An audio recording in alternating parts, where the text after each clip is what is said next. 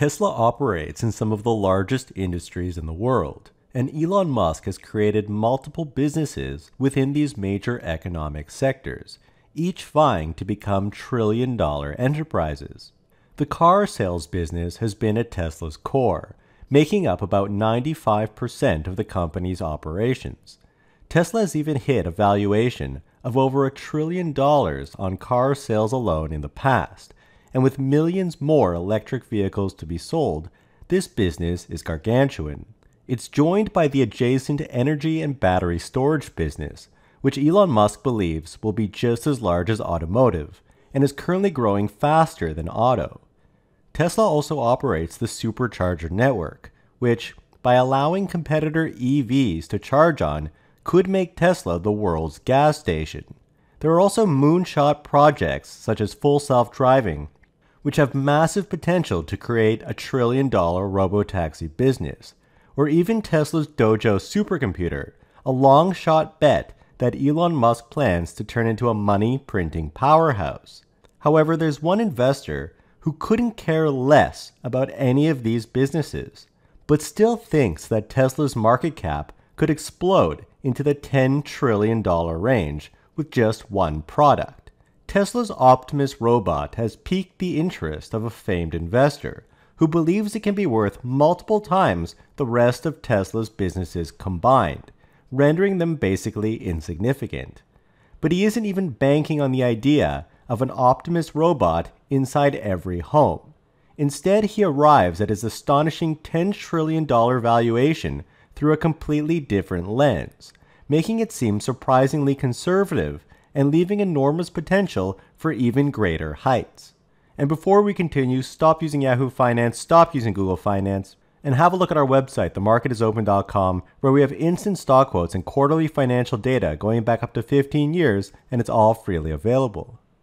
Over a year ago, I made the case that it was time to begin including Tesla's Optimus robot into the company's valuation. It was clear that Tesla was putting a real effort behind this initiative, but more importantly, Tesla essentially already has all of the ingredients, including hardware expertise and the AI software needed, in order to bring this product to fruition. If any other company announced a robot, it would lack the credibility and ambition that Tesla brings to the table. But remarkably, we've seen multiple companies follow suit, unveiling robot announcements of their own. Startups like Figure, which was founded just recently in 2022, made headlines by partnering with OpenAI for its new humanoid robot.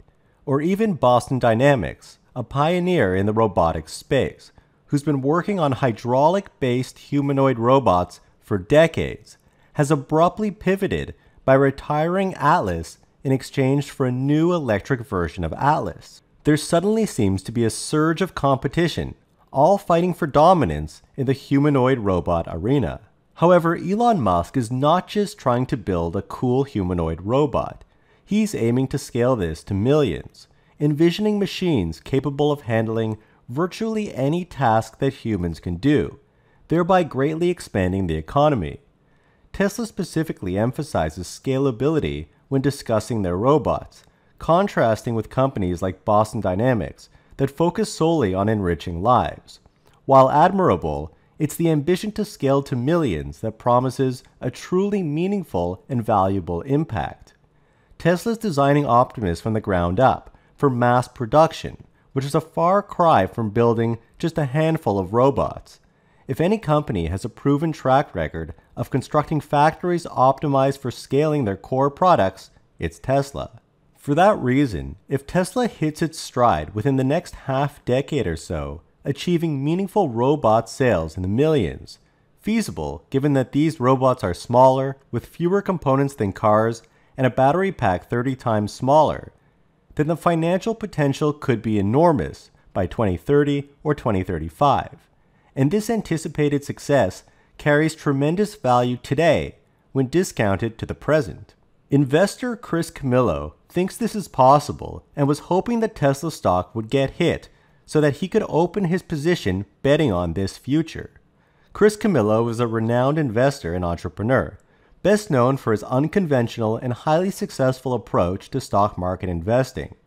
He gained prominence for turning a modest initial investment into millions by leveraging social media trends and human behavior insights to predict market movements. The traditional way of thinking about Tesla's Optimus product is the same way as Tesla's car sales. Investors typically estimate the price at which a robot like this may jive with the consumer, say $25,000 is the sweet spot, and then multiply that by unit sales. If Tesla sells a million robots, that's $25 billion in revenue. At 10 million robots, that's $250 billion in revenue, especially as Optimus makes its way into consumer households. But Chris Camillo throws this all away. In fact, he doesn't care about consumer sales at all. He's focused on selling Optimus to businesses, which is where the real money is at, and can be extremely profitable for Tesla and at the same time save businesses millions of dollars while making them more productive. Instead of selling an Optimus robot for its value in hardware, Tesla should and likely will sell Optimus for its economic value. In an interview with Herbert Ong, Chris Camillo offers a compelling valuation model for Tesla's Optimus robot.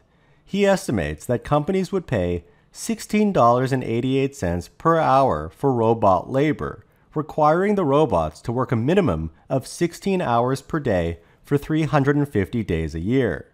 Imagine a factory or even retail or restaurant robot that only takes breaks for charging, or maybe even uses an extension cord to charge, never calls in sick, and can work around the clock.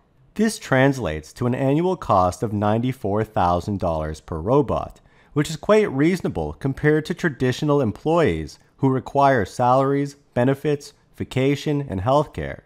There are also no regulations or unions for robots until they start to demand all this stuff. But this is also like having two non stop workers in a row, since humans work 8 hours a day while the robot is working 16. There's also no reason why the robot can't be pushed closer to 24 hours a day, but for this purpose we'll be using 16 hours. Camillo also assumes that Tesla would lease these robots and cover their upkeep, which he conservatively estimates at $8,000 per year per robot. This arrangement would yield an unbelievable 90 plus percent gross profit margins for Tesla. Now, the craziest thing here is that he then multiplies this by what he believes will be Tesla's unit sales, which is just 1.5 million robots in total for now. Camillo himself calls this conservative, but this results in a $129 billion gross profit opportunity. He then multiplies this by a PE ratio of 80 times and gets to a $10 trillion valuation. Now, again, the wildest thing is the 1.5 million robots, because that's a cumulative number. Tesla doesn't have to hit that number in the first year or anything like that. And if Tesla builds another 1.5 million robots, that doubles the size of the existing fleet and so in the second year, the gross profit would be twice as much and could potentially double the valuation as well. At that rate, Tesla would need its own fleet of robots to maintain the fleet that's out in the field. But really, the unit sales are not that high, since as outlined earlier, robots are much smaller than cars requiring fewer parts, and Tesla has already proven its ability to ramp up large objects at scale. Doing this with robots at an even smaller scale seems attainable. Another major difference is that this $129 billion is a reoccurring thing. When you sell the robots for $25,000 apiece, the sale is complete. However, by charging for the full economic value yearly, this is far more valuable and profitable for Tesla. Furthermore, the 80 times PE ratio may seem high, but Camillo was factoring in a substantial continued growth rate. It could be astounding that over many years, as Tesla builds up to 10 million robots and so forth, the valuation becomes literally unbelievable.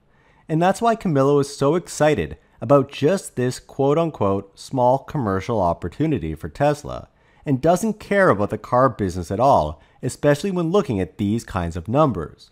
Now, of course, Optimus needs to be ready with real AI capabilities that can accomplish real world tasks. And that's one of the true challenges that Tesla has. The software will be far more difficult to build and perfect than the hardware, which has challenges of its own. but it also doesn't need to handle all of the use cases perfectly right out of the gate. Even if Optimus gets really good at just one simple task at a time, it could create and displace tremendous value. Tesla is teaching it to fold clothes already, and while this is done at home a lot, it's also a routine task at many retail stores. And so this business model is very interesting. In the previous example, Chris Camillo also estimates that it would cost $60 billion to build all of these robots in the first place. But that's a one time charge, as the robots would continue working for multiple years. There's also some leeway with how Tesla decides to ultimately sell this product and service.